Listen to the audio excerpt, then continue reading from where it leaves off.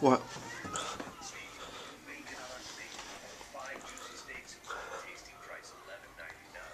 Why is he on my pillow? And he's been in here with the door closed, just FYI.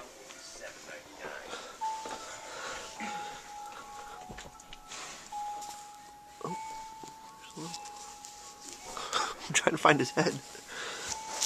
Oh, there's his butt. Oh, there's his butt. It's- hello. What are you doing? Did we disturb you? I'm not in here.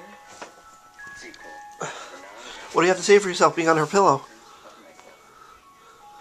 He has nothing to say. He's just keeping silent, Amy.